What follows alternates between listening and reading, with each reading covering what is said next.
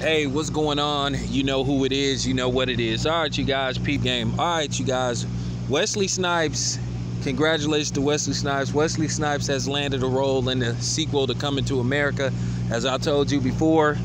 Oh, and shout out to my boy Ropes. Uh, he told me about Wesley Snipes, and I did some research, and it is official. Wesley Snipes will appear in Coming to America too.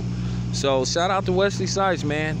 You know, working on back-to-back films with Eddie Murphy, man because this is long overdue. These guys should have worked together a long time ago.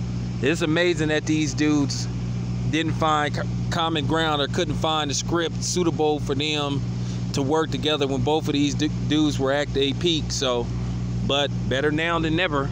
But uh, anyway, congratulations to Wesley Snipes. I'm out.